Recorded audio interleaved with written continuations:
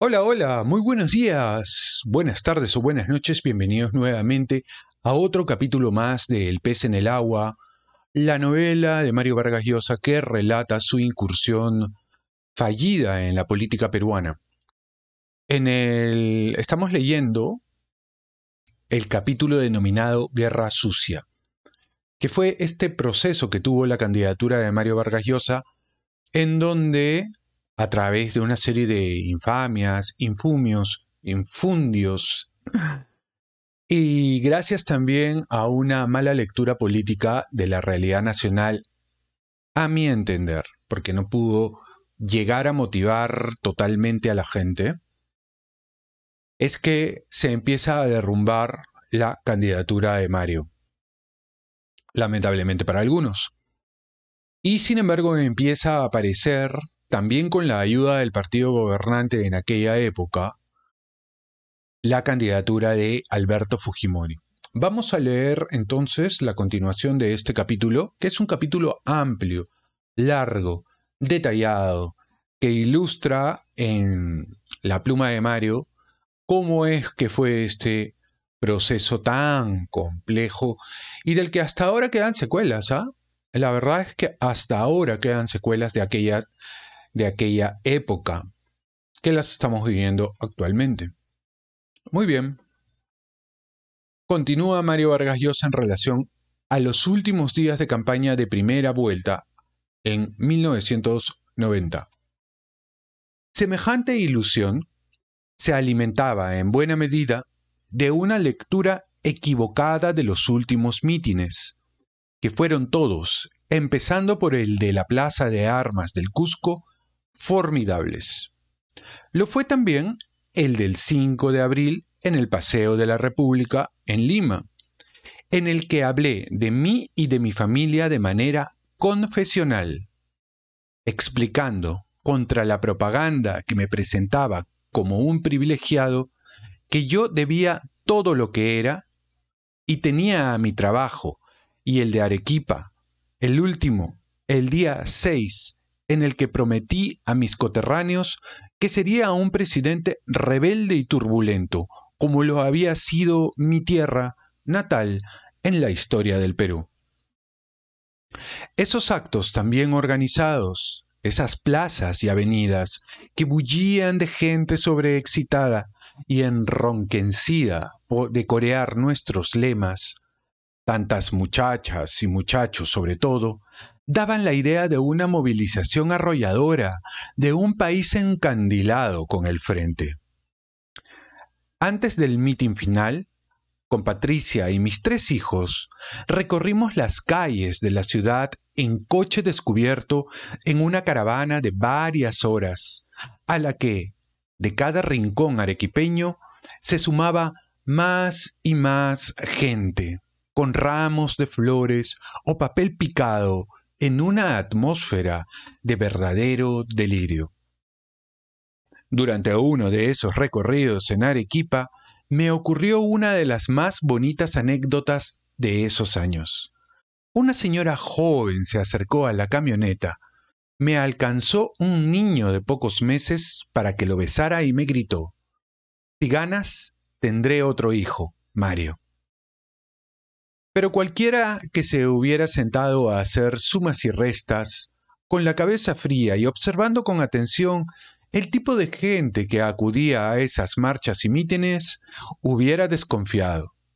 Quienes estaban allí representaban casi exclusivamente al tercio de los peruanos de mayores ingresos, aunque una minoría se bastaba para colmar las plazas de las ciudades peruanas, sobre todo ahora que, como pocas veces en nuestra historia, esas clases medias y altas se habían afiliado en bloque a un proyecto político. Pero los otros dos tercios, los peruanos más empobrecidos y frustrados por la decadencia nacional de las últimas décadas, aparte de los cuales, en algún momento al comienzo de la campaña, mis propuestas llegaron a interesar, se habían luego distanciado de ellas por miedo, confusión, disgusto con lo que apareció de pronto como el viejo Perú elitista y arrogante de los blancos y los ricos, algo que nuestra publicidad contribuyó a crear tanto como la campaña de los adversarios. Y cuando yo presidía aquellos apoteósicos mítines que me daban la impresión de preservar la mayoría casi absoluta que me atribuían las encuestas ya habían empezado a decidir la elección de manera distinta. Algunos amigos habían llegado al Perú del extranjero, como Carmen Balcells, mi agente literaria de Barcelona y cómplice de muchas peripecias, mi editor inglés, Robert McCrum, y el escritor y periodista colombiano Plinio Apuleyo Mendoza, a quienes pude ver la víspera del día de elecciones en medio de la asfixiante serie de entrevistas con corresponsales extranjeros que figuraba en mi agenda. Una sorpresa fue que aparecieran también por allí mi editor finlandés, Erki Renpa, y Sulamita, su mujer cuyas níveas caras escandinavas habían surgido de pronto como parte de magia o como por arte de magia en medio de la muchedumbre, en el meeting de Piura, sin que yo pudiera acabar de entender cómo era posible que esos dos amigos de Helsinki se aparecieran en ese confín remoto del Perú. Después supe que me habían seguido en esa última semana por distintas ciudades, haciendo prodigios para, alquilando autos y tomando aviones, estar presentes en todos mis últimos mítines. Y esa noche en mi casa me encontré con un telegrama que me había enviado desde Ginebra mi íntimo amigo de juventud, Luis Loaiza, a quien no veía hacía muchos años y que me emocionó. Un abrazo, sastrecillo valiente.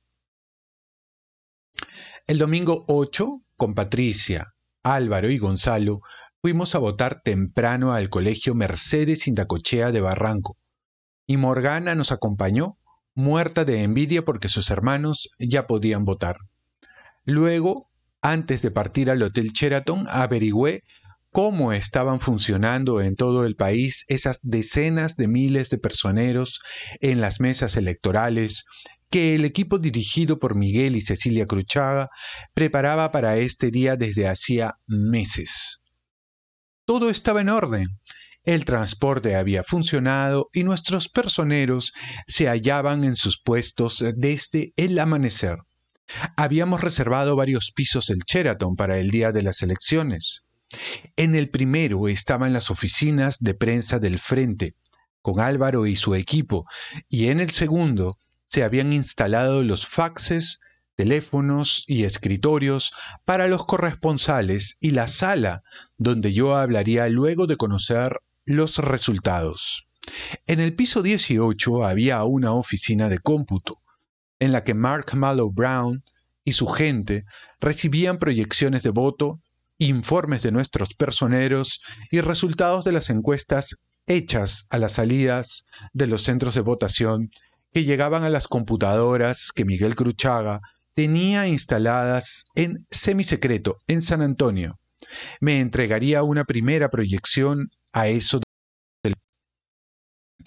El piso 19 se reservó para mi familia y amigos íntimos y el servicio de seguridad tenía órdenes de no dejar entrar a nadie más. Me encerré en una suite a eso de las 11 de la mañana, solo. Estuve viendo en la televisión cómo iban votando los líderes de los distintos partidos políticos o figuras célebres del deporte y la canción. Y de pronto me angustió la idea de que durante cinco años más probablemente no volvería a leer ni escribir nada literario. Entonces me senté en una libretita que llevo siempre en el bolsillo. Escribí este risueño poema al que, desde que leí un libro de Alfonso Reyes sobre Grecia, en instantes de asueto le daba vueltas. Alcides. Pienso en el poderoso Alcides, llamado también Hércules. Era muy fuerte. Aún en la cuna aplastó a dos serpientes, una por una, y adolescente mató a un león gallardamente. Cubierto con su piel, peregrino, audaz, fue por el mundo. Lo imagino musculoso y bruñido, dando caza al león de Nemea, y en la plaza calcinada de Lidia, sirviendo como esclavo y entreteniendo a la reina Onfale. Vestido de mujer, el venido de Grecia hilaba y tejía, y en su gentil disfraz divertía a la corte. Allí lo dejo, al invicto joven Trejo, en el ridículo sumido, y paf, lo olvido. A eso de la una subieron a verme Marc, Lucho y Álvaro con la primera proyección. Yo raspaba el 40% y Fujimori el 25%. El Dark Horse confirmaba su notable implantación en todo el país. Mark me explicó que la tendencia era a que yo siguiera creciendo, pero viendo su cara, supe que me mentía. Si estas cifras se confirmaban, el electorado no me había dado el mandato y habría una mayoría parlamentaria hostil a nuestro programa. Bajé a conversar con mi madre y mis tíos, tías, primas y amigos, y comí con ellos unos sándwiches sin contarles lo que sabía. Hasta el tío Lucho, pese a su hemiplegia y parálisis, estaba allí, sonriendo detrás de su inmovilidad y silencio, acompañándome en el gran día. Volví a la suite del piso 19, donde a las dos y media de la tarde me alcanzaron una segunda, más completa proyección nacional. De inmediato advertí la catástrofe. Había perdido tres puntos. Estaba en 36%. Fujimori mantenía su 25%, el APRA bordeaba el 20% y las dos izquierdas juntas el 10%. No se necesitaban dotes de adivinos para leer el porvenir. Habría una segunda vuelta en la que apristas, socialistas y comunistas volcarían en bloque sus votos a favor de Fujimori, dándole una victoria cómoda. Álvaro se quedó conmigo, a solas un momento. Estaba muy pálido, con esas ojeras azules que, cuando era niño, presagiaban sus pataletas.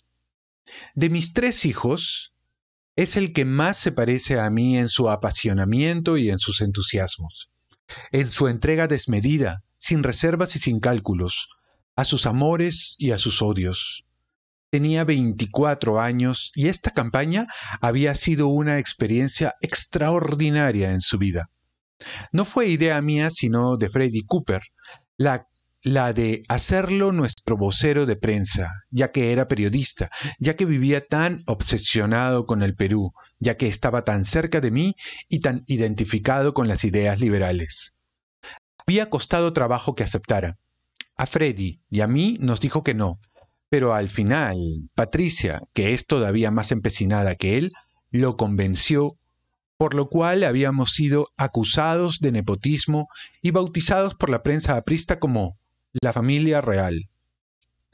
Había desempeñado muy bien su trabajo, peleándose con mucha gente, claro está, por no hacer la mejor concesión ni acceder a nada de lo que pudiéramos arrepentirnos después, tal como yo se lo había pedido.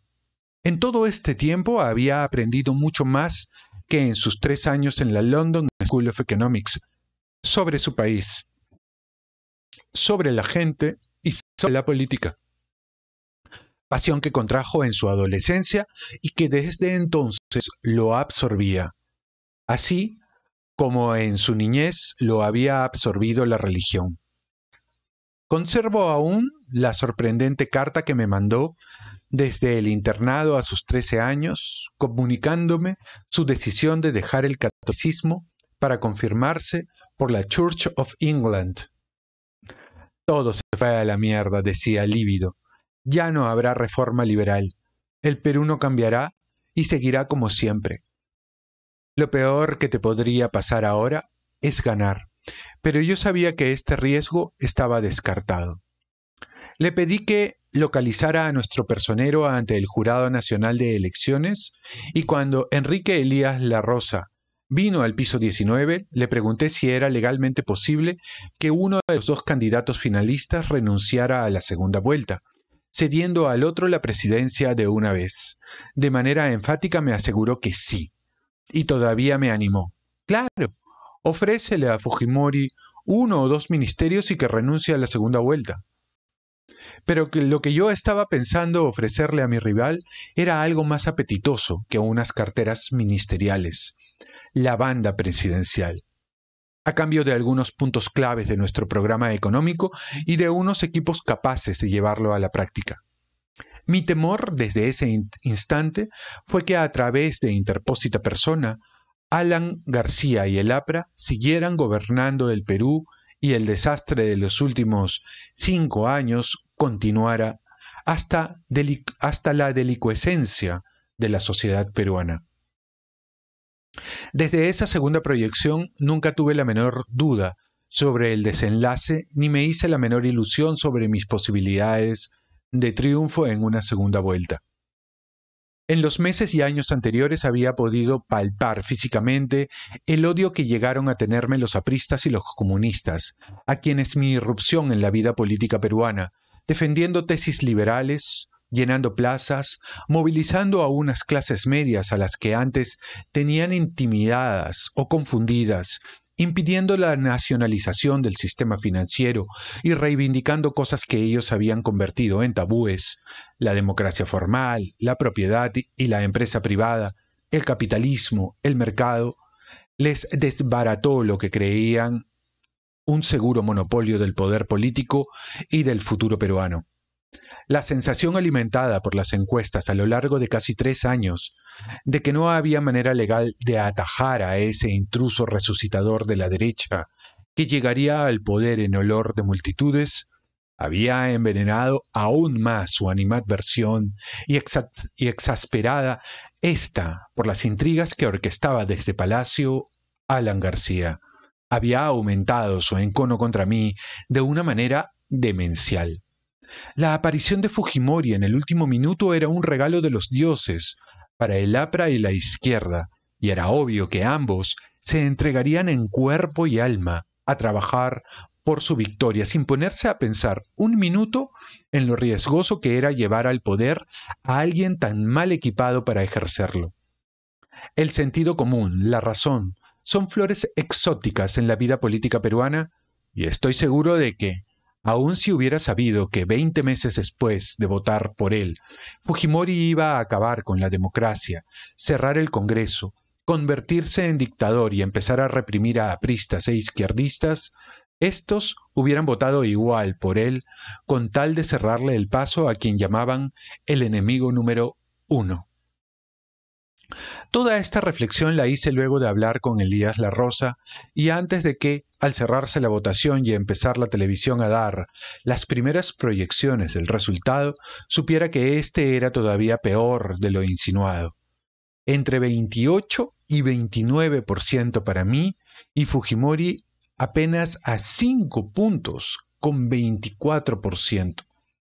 El APRA y las izquierdas rebasaban juntas el tercio de los votos. Tracé mentalmente lo que debía hacer. Negociar cuanto antes con Fujimori, cediéndole desde ahora la presidencia a cambio de que consintiera a la reforma económica, poner fin a la inflación, bajar los aranceles, abrir la economía a la competencia, renegociar con el Fondo Monetario y el Banco Mundial la reinserción del Perú en el sistema financiero y tal vez la privatización de algunas empresas públicas. Nosotros teníamos los técnicos y cuadros que a él le faltaban. Mi argumento principal sería, más de la mitad de los peruanos han votado por un cambio. Es evidente que no hay una mayoría a favor del cambio radical que yo propongo. El resultado indica que la mayoría se inclina por cambios moderados, graduales, por ese consenso que yo dije siempre que significaba parálisis e inconsecuencia con los principios. Es clarísimo que yo no soy la persona indicada para llevar a cabo esta política, pero sería una burla a la decisión de la mayoría que Cambio 90 sirviera para que el APRA continuara gobernando el Perú cuando es evidente también que solo un 19% de peruanos quiere el continuismo. A las seis y media de la tarde bajé al segundo piso a hablar a la prensa. La atmósfera en el hotel era fúnebre. Por pasillos, escaleras, ascensores, solo vi caras largas, ojos llorosos, expresiones de indecible sorpresa y algunas también de furia. La sala estaba atiborrada de periodistas, cámaras y reflectores, y de gente del Frente Democrático que desde su desconsuelo sacaron fuerzas para vitorearme. Cuando pude hablar, agradecí a los electores mi triunfo y felicité a Fujimori por su alta votación. Dije que el resultado era una clarísima decisión de la mayoría de los peruanos a favor de un cambio y que por lo mismo debía ser posible ahorrarle al país los riesgos y tensiones de una segunda vuelta y negociar una fórmula de la que surgiera de una vez un gobierno que se pusiera a trabajar. En eso, Miguel Vega me interrumpió para decirme al oído que Fujimori se había presentado en el hotel. ¿Podía entrar? Le dije que sí, y allí apareció en el estrado, junto a mí. Era más pequeñito de lo que parecía en las fotos, y totalmente japonés incluso en cierta defectuosa manera de pronunciar el castellano. Después supe que, al, aparecer en la puerta del Sheraton, un grupo de partidarios del frente había tratado de agredirlo, pero que otro grupo los contuvo y ayudó a sus guardaespaldas a protegerlo y conducirlo hasta la sala de prensa. Nos abrazamos para los fotógrafos y le dije que teníamos que hablar mañana mismo. El piso 19 se había llenado de amigos y partidarios que, apenas supieron los resultados, corrieron al hotel y desbordaron la barrera de seguridad. El cuarto parecía un velatorio y a ratos un loquerío.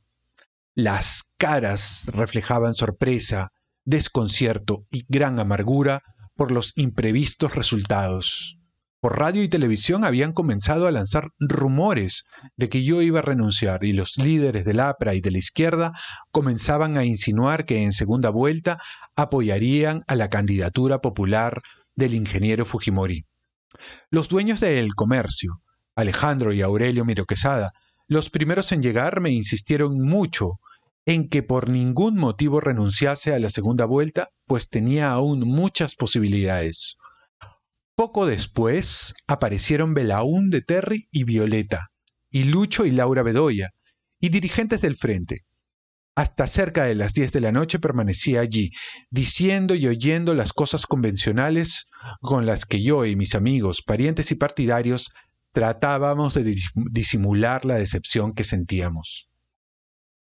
Al salir del Sheraton, Patricia me insistió mucho para que bajara del auto y dirigiera unas palabras a unos centenares de jóvenes del movimiento Libertad que, desde el atardecer estaban allí coreando estribillos y cantando. Reconocí a Johnny Palacios y al entusiasta Felipe Leño, secretario general de la Juventud, que había estado en todos los estrados del Perú, a mi lado, animando con su voz de trueno las manifestaciones. Tenía los ojos húmedos, pero se empeñaba en sonreír. Y al llegar a la casa, pese a ser cerca de la medianoche, me encontré también con una nube de muchachas y muchachos a los que tuve que decirles que les agradecía su adhesión.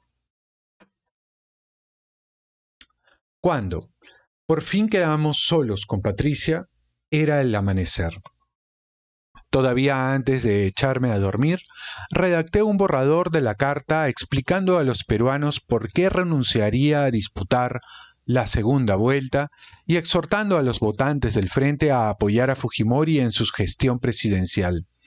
Esperaba mostrársela a mi adversario al día siguiente como señuelo que lo animara a aceptar un acuerdo que permitiera salvar algunos puntos de ese programa para cambiar al Perú en libertad. Muy bien. Aquí ha terminado el capítulo sobre la candidatura de Mario Vargas Llosa el día asiago en el que pierde las elecciones a la presidencia de la República y cómo en esta crónica narra detalle a detalle las horas que van pasando desde el inicio de la jornada electoral y cómo es que él va recibiendo cada cierto tiempo un avance a boca de urna de los resultados electorales. Ya saben que en la salida de los colegios eh, se ponen, mm, se paran, se parapetan, vamos a decir así, gentes de las encuestadoras, pero gente también de ah, el propio comando de campaña de los candidatos, de forma que pueden tener un sondeo más o menos en tiempo real de cómo van las elecciones. Yo he visto, por ejemplo, que en las últimas elecciones o en las elecciones previas acá en el Perú hay mucha gente que dice, bueno, a mí no me han encuestado, yo cómo sé que eso es verdad y tal. Bueno, yo he encuestado. Yo encuesté para Datum hace años. No recuerdo si era para una campaña municipal o presidencial. Creo que era municipal, no me acuerdo.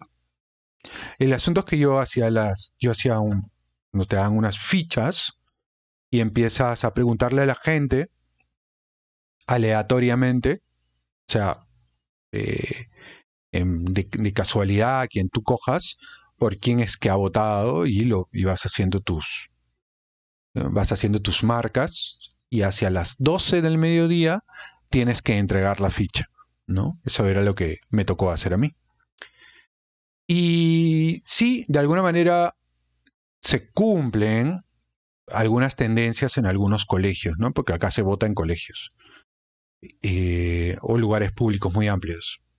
Y, se va cumpliendo.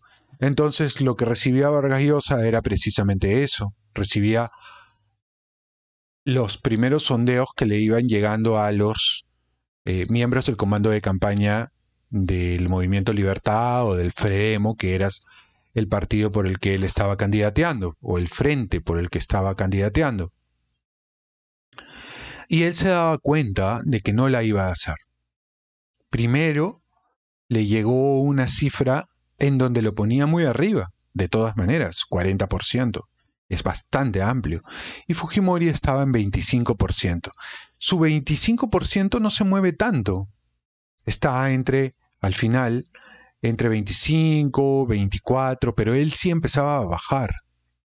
Con las horas empezaba a bajar. Probablemente porque llegaba más data de lugares más lejanos al lugar en donde él estaba en ese momento. Entonces, mientras va llegando data de lugares más lejanos, eso es sinónimo de lugares más populosos. ¿Mm? Acá en el centro, en el Lima, lugares más populosos y más populosos incluso en aquella época podían ser Los Olivos, San Juan del Urigancho, Ancón, Caraballo, Villa El Salvador, Ate, eh, Chosica y tal, que gente más, es un poco de condición más popular.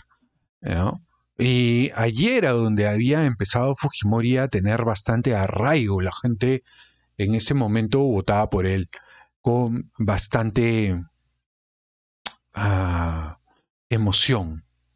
Había calado en, en lo más profundo de la población la figura de Alberto Fujimori. Otro elemento que también es cierto que ocurre en las elecciones peruanas, no sé cómo es, por ejemplo, en Argentina, o cómo es en Colombia, o cómo es en otros países, es que acá la gente cambia de voto a última hora y a veces decide su voto en la cola, porque hay candidatos que dan bastante igual. Y es como un feeling, es como una, una irrupción psicológica el hecho de que tienes que votar por alguien. Hay gente que sí que es cierto vicia el voto, hay gente que vota en blanco, pero la gente prefiere participar, ¿no? Por una especie de pudor electoral curioso porque nadie sabe por quién estás votando ni nadie sabe realmente qué es lo que estás haciendo allí en la Cámara Secreta, pero aún así la gente prefiere elegir y elige a veces lo que venga, si les ha caído bien, si les ha caído mal, si tal. Entonces Mario percibe que toda esa campaña de tres años lo único que hizo es desgastar su imagen, cosa que sucedió en realidad. Pero yo creo que lo que más desgastó su imagen ha sido esa publicidad onerosa que empezaron a desarrollar sus candidatos al Parlamento, que venían también de diferentes partidos, el PPC, Acción Popular, porque eso comunicaba, tergiversaba el mensaje original que quería enviar el propio Vargas Llosa. Eso comunicaba dispendio, eso comunicaba una desenfadada avidez por el poder, una desesperada necesidad por llegar a un curul parlamentario para sentarse y hacer nada básicamente durante los siguientes cinco años. Y a la gente eso se le hacía sinónimo de lo que Milley diría en Argentina casta. Y aquí políticas, políticos tradicionales. Allí estuvo el error de Mario Vargas Llosa. Entonces, en cambio, la candidatura de Fujimori era tan temprana que no le daba tiempo de desgastarse en aquella época. No le daba ese, esa... Y solo repetía frases simples. Goebbels decía que lo único que tú necesitas, que mientras la masa sea más básica, funcionan menos los conceptos o las definiciones más complejas de la política. Goebbels era este general eh, de la Alemania durante la Segunda Guerra Mundial. No voy a decir la palabrita porque acá te censuran por todo. Pero ustedes ya saben. Y él decía eso. Y bueno, en muchos se aplica. Si se aplica con gente que es muy racional, ¿por qué no se va a aplicar con gente que de repente no tiene las mismas competencias educativas de los otros? Entonces, ahí cometió varios errores, varios errores. Y bueno, desde esa época hasta hoy, las campañas millonarias de esa naturaleza, de esa índole, con esas características, ya no se suelen utilizar en el Perú. Es la última semana en donde se mete mucho dinero en la campaña. Es la última semana. Y muchos candidatos tienen esperanzas hasta la última semana porque el voto es muy volátil, no sabes realmente lo que puede suceder. Si alguien decidiera, por ejemplo, hoy, que estamos noviembre del 23, postular para las elecciones del 26 es muchísimo tiempo, es demasiado tiempo. Y es lo que hizo Vargas Llosa, porque él se estuvo perfilando desde el 1987 hasta el 90, exactamente también tres años. Y es mucho desgaste, es ofrecer eh, flancos que te hacen vulnerable, es que los rivales empiecen a destruir tu candidatura desde las bases y tal. Sin embargo, yo particularmente pienso que en una sociedad madura, en una sociedad madura, la gente que está participando en política tendría que tener el derecho de hacer una presencia permanente en la política, no solamente en las elecciones. Pero eh, falta bastante madurez ¿no? entre nosotros para que podamos llegar a ese estadio. Bueno, espero que les haya gustado este video. Si no están suscritos al canal, suscríbanse al canal, activen la campanita, déjenme su comentario súper importante y siempre los motivo para que lo hagan porque eso hace que el contenido llegue a más personas y a mí me ayudan para que pueda ofrecerles este tipo de contenido y contenidos de otro tipo que pueden ir apareciendo en el canal próximamente. Espero que les haya gustado. Nos vemos en el siguiente. Paz y bien, como siempre.